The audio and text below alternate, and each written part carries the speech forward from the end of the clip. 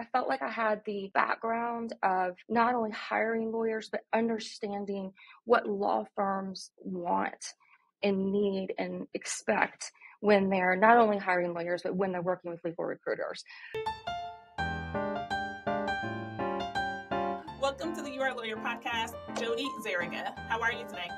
I'm great, Kyla. Thank you so much. How are you? Yeah, I am doing well. Uh, busy, busy week, but I'm excited to get this content out there because you are a legal recruiter. You actually own your own business, Zerega Consulting. And so let's jump right in. What made you create this consulting company? So it's an interesting, interesting path I've had. Um, I originally thought I wanted to go to law school, but wasn't quite sure after college if I was ready to really do have that commitment. So I started working for a law firm, went to paralegal school at night. In the process of that, I was ended up getting hired by that law firm as their director of recruiting. Honestly, I didn't even know, I didn't even know what it was. I was like, what, what is this? But I started doing that for an AmLaw 100 firm in 1995. took the firm from 185 lawyers by the time I left in 2003. We were at 525 lawyers. So in that process, I had to rely a lot on legal recruiters to help me identify talent and, and, and bring me good folks. So I just realized I was like, I know I can do this. I know I can do this. So it was 20 years in June and it's been great. It's been wonderful. So yeah. So what made you decide to leave the law firm or working at formal firms to create your own little thing? Or are you a consultant within the bigger law firm? So, I am an independent company. My clients are law firms and companies that hire me to find them lawyers. So, just working with outside recruiters to help me fill these tough positions that I had. I realized that, I, that there was a, a need out there for good legal recruiters that understood how the inner workings of a law firm work because it works completely different than in a business. So I felt like I had the background of not only hiring lawyers, but understanding what law firms want and need and expect when they're not only hiring lawyers, but when they're working with legal recruiters. So I, I worked with a handful of, of, great legal recruiters who were who mentored me the first few years to, to, to help me get started and it's been a great path. But yes, I do consult for uh, law firms and companies if they need me on a particular project, or maybe they want to, um, you know, start a new practice area, or get into a new market, or open up an office in another state, or whatever.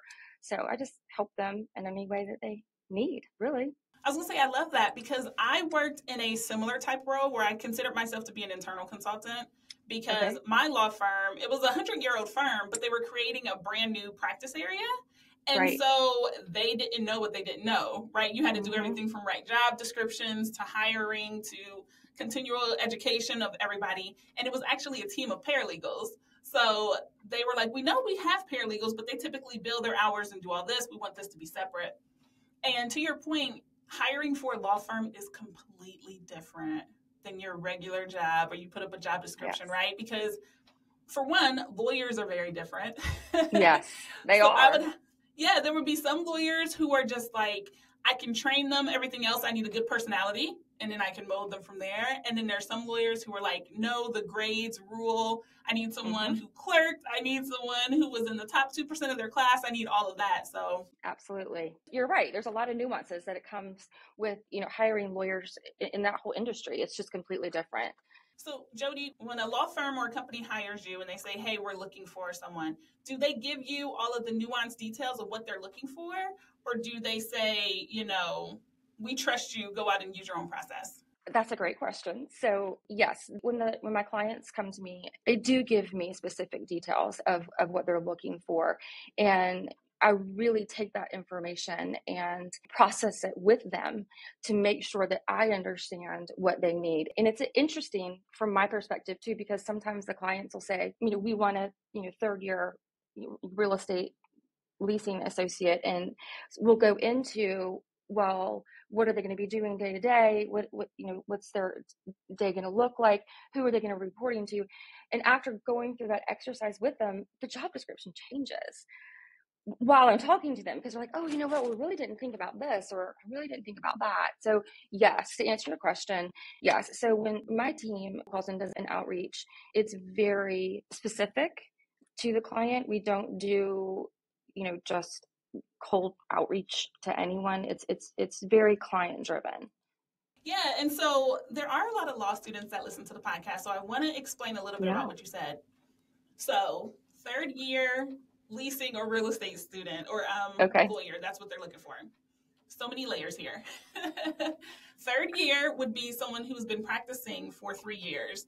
And that can be different. It can be literally three years, someone who's been out of law school for three years, or someone who's had mm-hmm. three years of experience in real estate or in leasing, right? Right. So there's levels yes. there. And then yes. within the real estate law, you know, it can be real estate with mergers and acquisitions, it can be real estate with corporate leases. Mm-hmm. So mm-hmm. it's not just a blanket job description. Hey, looking for someone to fill this seat. right. No, yes. It's very specific.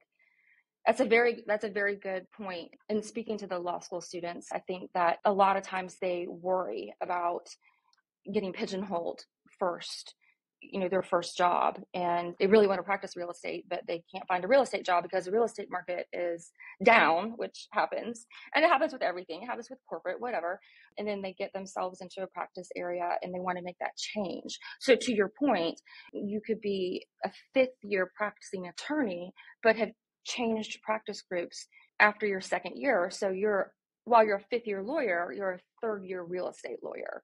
Does that make sense to me, of course. yes. Yes, I'm sure that the audience will get it. And then there's a lot of young lawyers that listen to the podcast. So five years practicing or less. And they would okay. your example perfectly. We did not prepare that, everyone. that was just not at all magic. No. Yeah. That's because great though. A lot of lawyers are afraid to move around or mm-hmm. they move every year, right? It's right. like those two extremes because I stayed at my law firm for five years but I was in mm-hmm. IP law and then I did some e-commerce and then I did counterfeit all within the same practice group but very different things. So, you know, you right. would have that tenure. However, you moved around within the departments and so you've seen a lot of other stuff. So, right. what we're trying to say to the audience is that you can move around. However, mm-hmm. when you're reading those job descriptions or if you're thinking about reaching out to a recruiter, make sure you're asking these questions so that you're actually meeting the criteria. And if you're working with a good recruiter like like us, we really will, you know, dig deep into your experience as well um, to to find out exactly, you know, if you are a fit, and if you're not a fit, then maybe we have something else. But yes, that's that's our job as well. So okay? Jodie, so sure. let's switch things up and talk a little bit about tips for someone who's interviewing or someone who wants a job with one of your clients. What do you do to kind of help them get prepared? Do you have any advice? The thing I'll say is the most important thing that you can do when you go on an interview is to be prepared. And, it helps if you have a legal recruiter on this part because they should know everything in the, the, ins and outs of the position. They should know everything. So you you can rely on that legal recruiter to answer these questions. But if you're not using a legal recruiter, research the practice group, research the people in the practice group get your schedule ahead of time from whoever you're working with. Research those people that you're going to be meeting with. Maybe do you have anything in common with those folks? Did you go to the same law school? Did you do the same hobbies? Um, did they happen to write an article that you saw published recently that interests you? Anything. Anything at all. Just be prepared for knowing the firm the practice group and the people that you're interviewing for is super important. So that's like what I like to call pre-interview prep, just to be prepared. And then, of course, there's the tactical things. Um, I always tell the candidates to, if it's if it's an in-person interview, make sure you map out in advance where you have to go and allow yourself time for traffic and, you know, plan to arrive 10 minutes early. Um, make sure you look at your wardrobe ahead of time and not you don't need the fanciest expensive clothes at all you really don't you just need to look put together and clothes need to fit properly. Like I can't tell you, like you could go to Target or Walmart and get the prettiest black dress that is just perfect. Take it to an alterations and get it fit perfectly to your body. It's amazing what a difference that makes. Just your first impression, I would say it makes uh, uh, the biggest difference. It really does. So, you know, take the time to prepare that ahead of time. Like don't scramble the night before and make sure the questions that you have make sure they're answered before you go in and don't be afraid to ask them. And if you are using a legal recruiter like i said lean on that legal recruiter. That's our job and we're here to help you. We're kind of like an intermediary. If i find somebody you know a you know second year lawyer who is on the fence about looking and they're a great fit you know i'll tell them go interview for the job. You know it's okay if you're at all interested, just just go check it out. You may interview for that job and you may realize that you're in the best place you could possibly be. And that's awesome. But it's a gut check and I think it's a very healthy exercise to go through as a young attorney as well because the worst case scenario that I have run into is let's say a seventh, eighth year associate who is looking at oh gosh, you know, it's time for me to make partner and I don't have a book of business. And then what do you do? You've never interviewed. It just becomes this, it, it's stressful. I hope I answered your question. I do believe that you did answer it. What I kept hearing was take the chance, just go on the interview. And I want to say it's always easier said than done, right? Uh, yes. Because lawyers are risk averse, and we're like, if there's yes. no guarantee that I'm getting it, why yes. waste my time? I, I don't mean just go in the interview for the sake of interviews. I don't. You have to be interested in the job. I mean, if it's a if it's an interesting opportunity and you're on the fence and it looks like it could be a good role for you, you know, then I say it's worth the time. But don't don't just go on interviews because somebody asked you to go on an interview. If you're not interested, we don't want you to waste your time, and the clients don't want to waste their time either. And that's okay. It's totally okay to say no. Absolutely. And I hope everyone is learning a lot from Jodie because on this podcast, every single week, I talk to a lawyer who's doing something cool with their degree, right? Because you can never lose all the information that you learned in law school. I don't care if you're running right. a food truck, I don't care if you became a painter, I don't care if you're a novelist, you're still using your legal education. So there's a ton of things that you can do, right? You've been using it this way for so long, and now you're interested in something else, or you want to pivot, or you want to go to a smaller firm, or whatever you need to hire a legal recruiter because they know all of the nuances and they can see your blind spots. You might mm-hmm. be thinking, I want another $25,000 in less hours. Meanwhile, your recruiter will tell you, that's not, that doesn't work in your practice group. or you're thinking too small yeah. or whatever. Yeah. Right? Exactly. Um, you're exactly right. So Jodie, I want to talk about your business because I, sure. I think business owners are so fascinating.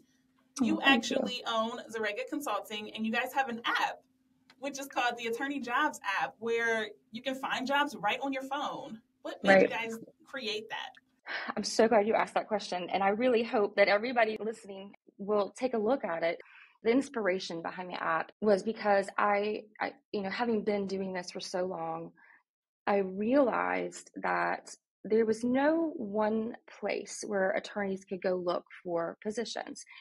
And you know, you could go to Monster, you could go to LinkedIn, or you could go to Indeed, or you have all of these job, you know, sites, all these websites. You can search in attorney jobs if you're going to, you know, or legal counsels or whatever you want to do, but you're going to get secretaries and you're going to get paralegal positions. You're, they're all going to pop up because that's just the way that the search engines work. So there wasn't one, like a one stop place for attorneys and also understanding how valuable attorneys time is, you know, our, our sort of mantra is you can find your perfect job in under six minutes. So this app is exclusively for attorneys. You cannot download it unless you are in good standing um, at, with the bar association. However, if you are in law school, we will let you in with an edu email address. Um, just knowing that you're in law school because looking for jobs it's, it's important for, for the law school students as well so we do allow law school students to to download it and so once you download it you can set up a profile and in that profile you can set your preferences. Like you can search for any sort of job. If you want to go to salt lake city and be a cannabis lawyer let's say you can search those fields to see if there's any positions open but you can also set your profile at any time any of these jobs are posted you can get notified.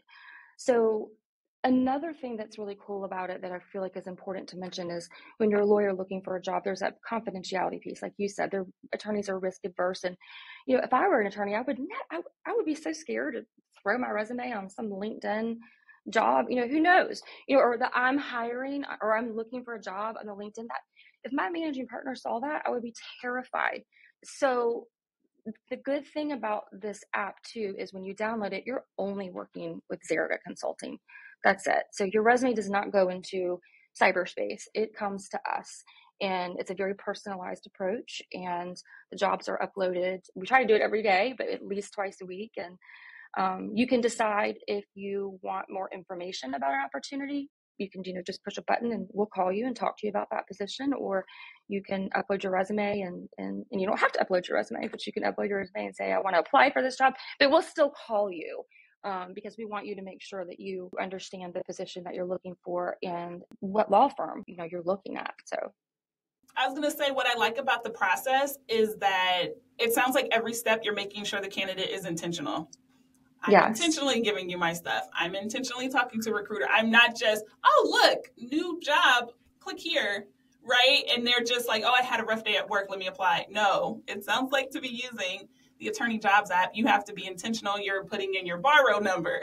You're putting in all this information to say, yes. I am committed to working with you to find another role. Yes yes yes and and we we understand what a big deal that is and so we take it very very seriously and we are kind of like your concierge really and again that doesn't mean that you have to interview for any of the jobs but you can just see what's out there and maybe you want to move home you know where home is you know let's let me see what jobs are in columbus right now you can do a search and that way so it's a really cool tool mm-hmm. it looks really nice and i love that it's a discreet way to look for jobs. So that's really nice. Yes. Um, yes. So you mentioned moving home or moving to Salt Lake City and all this stuff. Do you serve clients nationwide? We do. We do. Play our placements are nationwide and, and in Canada. We do some some work in Canada as well. But um, yes, so I'm physically located in Florida. We have a team. Uh, there's ten of us right now. Um, we all happen to be women, which diverse group of women, which actually didn't even happen on purpose. It happened organically, which is really cool. We're located all over the country, and our reach is very, very broad. Okay, very cool. Yeah. So, Jodie, I ask everyone this question, and that is what would you say to new lawyers or law students about how to find a legal job? The first thing that you should do is pick up the phone and, and call me. It's super simple. you call me, you email me, you download the app um, and see what's out there. And, and, and I can help you walk through the process. I can help you. Sometimes, you know, we're part psychologists too, you know, like in really helping the attorney figure out where they want to go and what they want to do. So definitely rely on us. We can help you. And then communicate. I think communicating with your recruiter and being honest and transparent about what you want is very important as well. Don't ghost your recruiter. That's happened to us sometimes. I'm like, oh, you know. Um, but yeah, that's the that's that's the thing I would I would really say is is is is really put that trust into into your recruiter to help you guide you through the process because it can be difficult. Okay. And I really love that because lawyers, especially someone that's coming right out of law school, you've been watching and being mentored and learning for the last three years. And mm-hmm. so while you may understand the law, you don't know anything about getting a legal job. okay? It's a completely different thing. So lean on the people that know. And Zerega Consulting, they've been doing this for 20 years. They have the experience. Contact them, work with the recruiter, and they can walk you through the process or even try to find out what type of practice area might even work best for you. So. Right. Yep. Absolutely. Yes. All right. Great. Well, thank you so much, Kyla, for having me. I really appreciate the opportunity and I love listening to your podcast. I love working with lawyers and I wish you all the best. Thank you. Enjoy the rest of your day. You too. Bye bye.